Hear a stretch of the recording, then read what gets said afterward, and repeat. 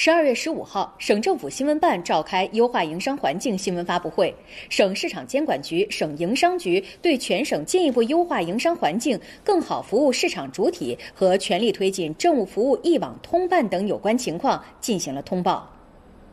今年以来，我省持续深化商事制度改革，积极为各类市场主体投资兴业营造公平、透明、可预期的营商环境。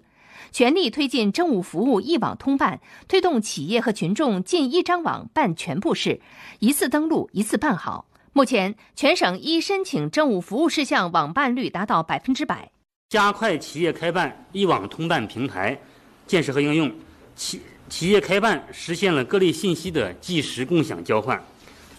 准入多环节同步办理。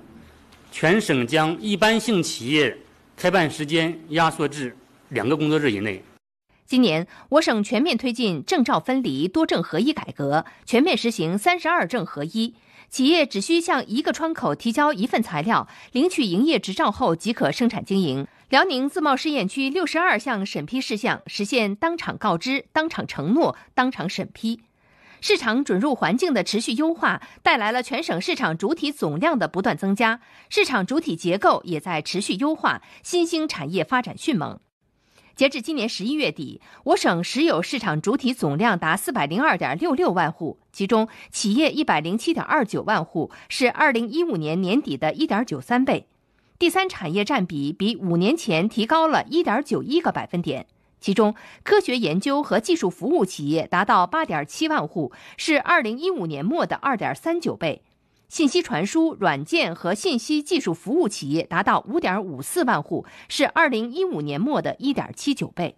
我省积极探索实践双随机、一公开监管，减少了对市场主体的非线索性直接检查和多头检查，持续深化简政放权，取消下放调整省级行政职权一千零五项，持续推进项目审批制度改革和诚信政府建设，聚焦解决企业群众诉求，充分发挥八八九零平台作用，实现群众投诉建议的受理、转办、反馈、回访等全程闭环式管理。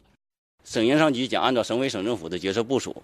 继续坚持体制机制创新，破解企业群众办事难题，在全社会形成人人都是营商环境、个个都是开放形象的理念，全力建设办事方便、法治良好、成本竞争力强、生态宜居的市场化、法治化、国际化的营商环境。本台报道。